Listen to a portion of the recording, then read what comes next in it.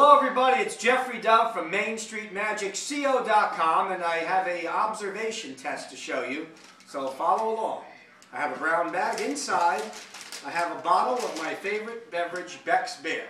I'll place it inside the bag, say the magic word abracadabra. I reach inside, and it becomes an onion. What? Phew. Oh yeah. Ah, it's a stupid trick anyway.